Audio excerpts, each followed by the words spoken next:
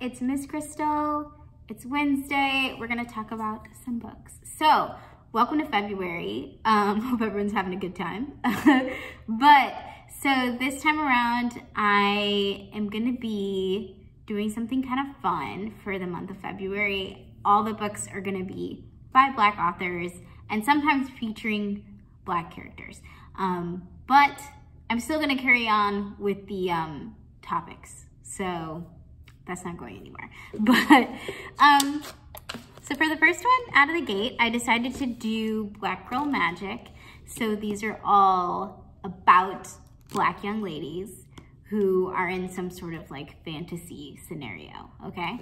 So I'm gonna start with my teen books and then I'm gonna carry on to my middle grade ones, all right? So this is Daughters of Jubilation um, I'm really interested in this one. I have not read it yet, but here's the premise, okay? And you tell me. And it is basically, it's set in Jim Crow era South. And this girl right here, what's her name? Evie. I don't even need to look. Evie, she um, is born to like a family of women who eventually gain power, um, like witchcraft power. And they don't call it witchcraft though, they call it jubilation.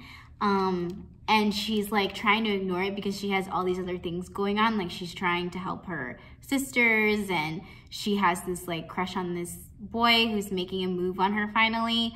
Um, and so like there's all these like life things are happening but then in the background she has like this ancient ancestry that's like rising up inside of her. And so it's kind of about like making peace with your history and with your ancestry. And it reminds me like the themes of it remind me a lot of like kindred or something. So if you're into that then like i say go for it. And i'm gonna read it probably. Okay. Next one kingdom of souls. So this one is also about witches but it's set in a society that is not here. So nothing like here.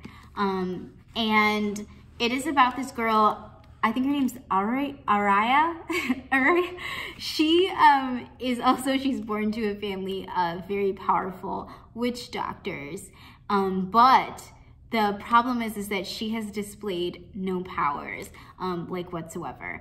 And so one way to get power though in this world is that you go through these like rituals and you can obtain power. Now, the problem with the rituals and the reason why people don't do that is because they take like years off of your life in order for you to get like magical power. And you never know how much time it's going to take off of your life um, in order to obtain this power. So at first she's like, I would never do anything like that. But then um, this like devil sort of monster thing is like threatening her world. Um, it's like stealing children and stuff.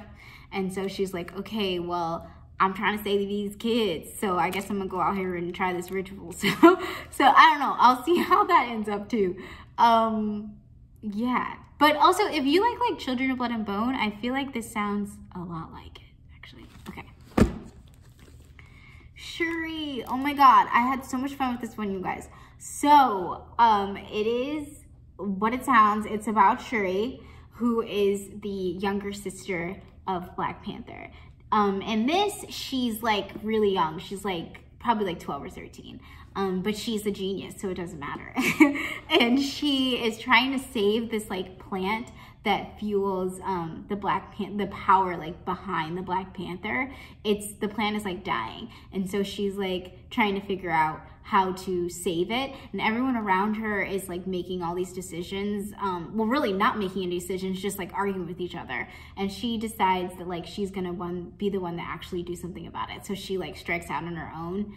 Um, but yeah it's such a great it's it's so fun like the writing is in purple which is cool and also, if you don't want to read it, because I didn't read this, I listened to it. Um, and Anika Noni Rose, who is the voice of Tiana, the frog princess.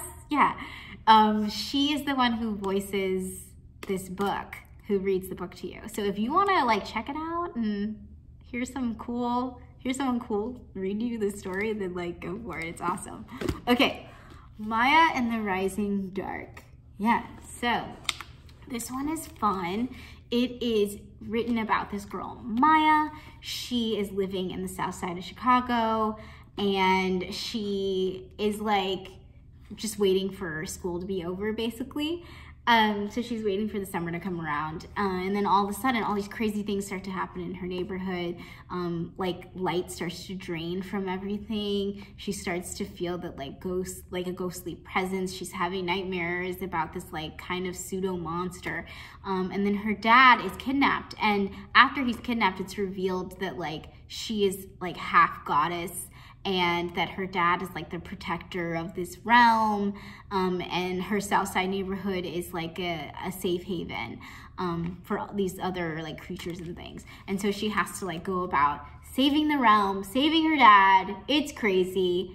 You know who couldn't love it? So that's my black girl magic picks. I hope that you find something that you like um, and uh, i hope everyone has a good rest of their week. See ya